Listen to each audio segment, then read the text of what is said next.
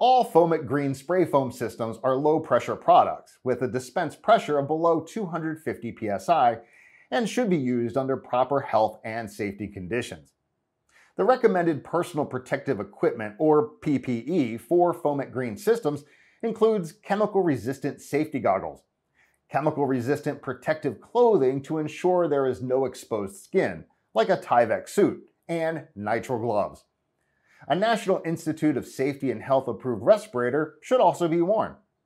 There are many respirator options, and the correct one may be determined based on project conditions, like ventilation. Some options include half mask respirators with organic vapor cartridges and particulate filters like the P100. Respirators should be fit tested, and cartridges or filters should be changed in accordance to a regular schedule. Full mask and power air purifying respirators can also be used. Ready to learn more? contact Foam it Green today.